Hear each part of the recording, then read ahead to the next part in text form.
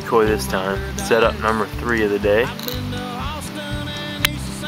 Finally stopped raining enough to get a little more out in the open.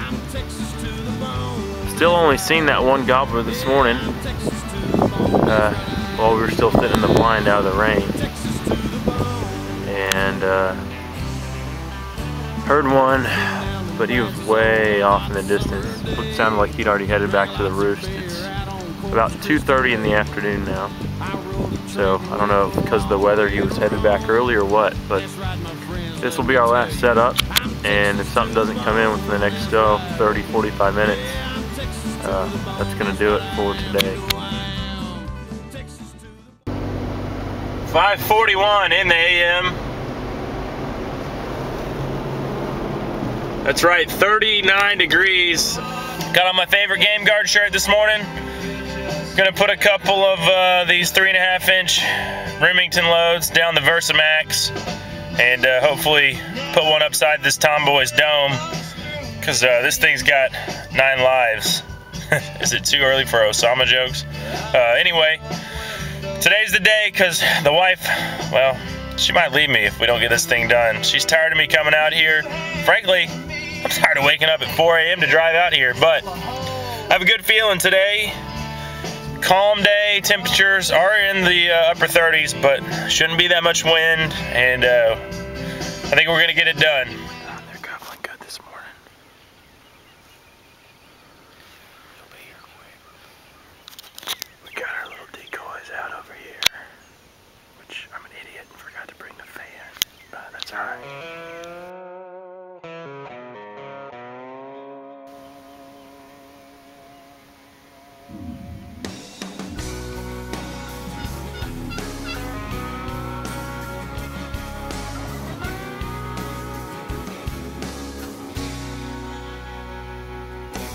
Double barrel shotgun, watching my dog run along an old fence road. We're setting the drag for the largemouth bass, bending my fishing pole. Unloading my truck before the sun comes up, where the river and the critters run free. You know it's a given as long as I'm living, I'm always gonna be on the water and in the woods. One the crosshairs, one on the hook.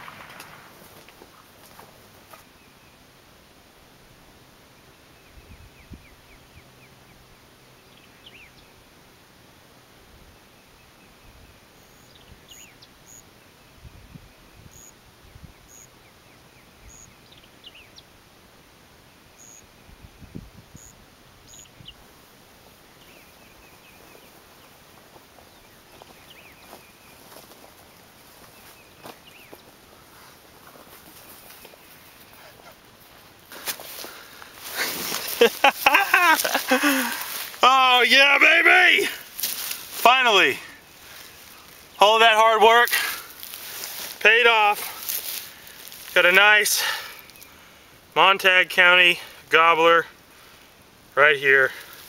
Look at that beard. That is, oh man, that is a nice bird. That is a nice bird. On the fifth hunt, finally got this guy. Going to, I'm so excited I can't even talk. What a relief. What a relief. Look at this bird. Look at these spurs. Look at that. Maybe three fourths of an inch there. Look at that. Yeah. There was actually two of them that came up behind me, so that's why you didn't see the nice kill shot next our decoys out here. But man, I tell you what, he tried to sneak around this bush and I don't know, you probably could hear him if he was picking up the sound. Oh man, Man, oh man, oh man. What a bird. What a bird. nice, Tom. Look at these. Oh, yeah. Look. That is beautiful turkey. I am ecstatic. Couldn't be more happy. Been out here and Goin Day Hunts five times with Don, my good friend. And uh, he finally had to cut out today, go get some work done. But I had to put in the work. I couldn't let this turkey win. And today was the last day for me to hunt. And uh, I love it when a plan comes together. oh, yes, yes. Cross that old red river, it would open up their eyes. When I wake up every morning and I look out at heaven, Lord, it ain't hard to recognize. If there's anybody out there still trying to figure out exactly where we came from. Well, this is the fifth day out here hunting with my friend Don Gresham, Goin Day Hunts. But after this turkey dog, oh gosh, uh, one failed attempt after the another. Just so and then it rained all day on on Sunday.